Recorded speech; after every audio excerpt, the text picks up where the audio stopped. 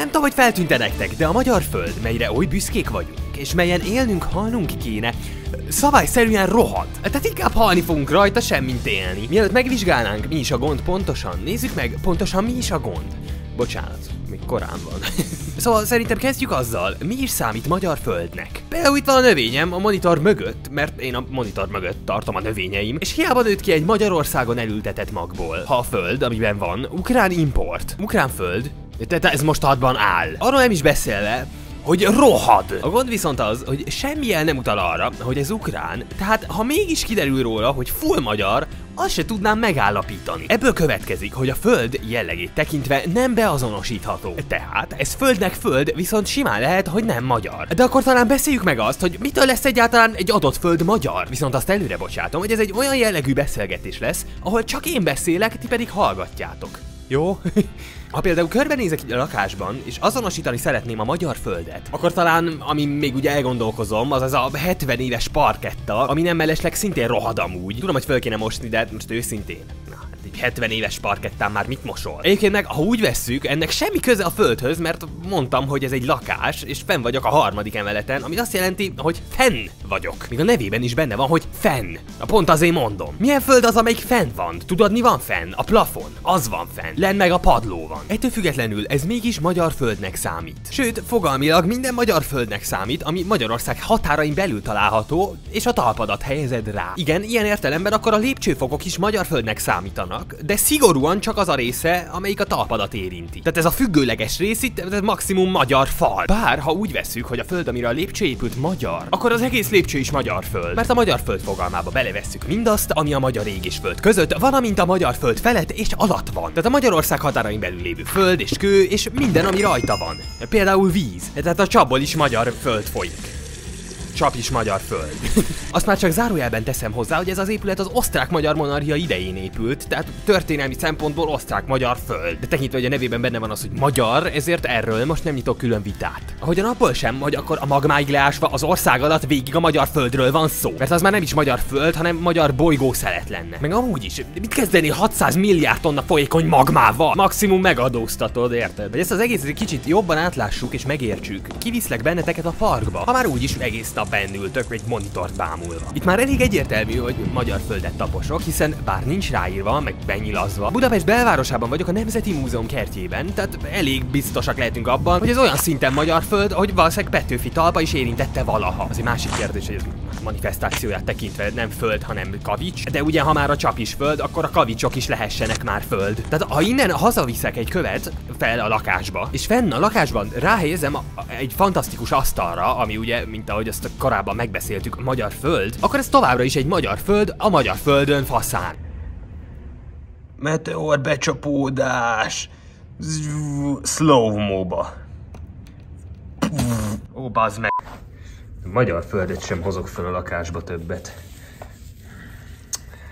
Na de most jön a csavar! Ha a japán szigetek császári jellegét semmibe véve, lenyúlok egy japán követ, és sikeresen átcsempészem a vámon Európába, azon belül is Magyarország területére, egészen fel a harmadik emeletre, akkor az a kő megszűnik császárinak lenni? Vagy továbbra is japán föld, csak egy magyar földön japán föld. És akkor még nem is beszéltük a japán nagykövetség kertjéről. Vagy mi van akkor, ha egy japán bonszájra kokárdát tűzök? Egyébként, ha lájkon, kommenten és feliratkozáson túl anyagiakkal is támogatnád a Technoscope YouTube csatorna fennmaradását. Ezt megteheted a csatorna tagság keretei közt, melynek kiváltása esetén megtekintheted többek közt a 10 legmodernebb operaházról szóló videómat, a setup tourt, valamint betekintést nyerhetsz a kulisszák mögé. Szóval most már nagyjából tisztában vagyunk azzal, mi a magyar föld. Már csak annyi van hátra, hogy megbeszéljük, mettől meddig rohad. Ehhez pedig elkerülhetetlen annak megállapítása, hogy mettől meddig tart. Erre egyszerűen rá lehet vágni, hogy határtól határig. Viszont ezzel kapcsolatban felmerül egy igencsak fontos és meglehetősen lényeges kérdés. A Trianon előtti vagy utáni határokról van szó. Tehát van határ, azt tudjuk, azt is, hogy nem is egy. Viszont a határnak valami körül kell lennie, és ha az adott vonalon kívül és belül is van magyarnak mondható föld, akkor nem arról van szó, hogy akárhogyan is mozgatjuk, növeljük vagy zsugorítjuk ezt a vonalat Annak nem lesz érdemi befolyása arra vonatkozóan, mit hívunk magyar földnek és mit nem. Hm? Egy körvonalnak valami körül kell lennie. De ez a körvonalunk mi körül van vajon? Magyar városok körül? Vannak magyar városok a határon túl is? Vagy netán a magyar embereket fogja közre az úgynevezett magyar határ? Mert ha erről van szó, felhívnám mindenkinek a figyelmét, hogy több mint 4 millió magyar él ezeken a határokon kívül. És különben is, mire fel a többes szám? Hát egy határ van. Úgy gondolom, hogy ez egy elég kontextus függő dolog, hiszen másra gondolunk, ha azt mondjuk, hogy foglaljuk vissza a magyar földet. És más, ha azt mondjuk, védjük meg a magyar földet. Mindkét esetben azt mondjuk, hogy magyar föld, mégis két egymástól független területre gondolunk. Ugyanakkor mindkét esetben körbe leszünk rögve, mert mégis kitől és mivel akarjuk visszafoglalni. De igazából ebben a videóban most nincs kedvem belemártani a kezem a politika szarral vödrébe, szóval ezt a részt meghagyom a ganézóknak. És ezt most nem pejoratív értem, a ganézás is tisztességes munka, csak valaki végezze már el rendesen, érted? Úgyhogy maradjunk annyiban, hogy mivel ezen videó készítésének pontos dátuma a most, így Magyarország mostani határait fogjuk alapul venni. Ami mondjuk legyen így itt. Itt a így. Ezt rajzolgatom, úgy az is eszembe jutott, hogy attól is magyar föld, hogy ezer éve halott magyar emberek porát a részben, meg egy csomó oszmán, meg mit tudom én mit. Sőt, még meg nem született magyarok porát is, hiszen az a föld, melyből a magyar termés ásványtartalma származik, valószínűleg bekerül egy kis mama szervezetébe, persze csak ha feltételezzük, hogy van pénze a lényegesen drágább a hazai földről származó élelmiszerre. Tehát a magyar föld mindannyiunkban ott van, még benned is, még az afgán bevándorlóban is. Tegyük fel, hogy tényleg létezik a magyar föld. Jó, ne, ne, ne, ez így nagyon, ez így nagyon rosszul fog kijönni. Érdekes kérdés továbbá, még a magyar föld részét képező magyar levegő, ami ugye tegnap még osztrák volt, egy héttel ezelőtt pedig sarkvidéki. De tök mindegy, mert telefújjuk gyilkos smoggal, ami miatt folyton köhögök.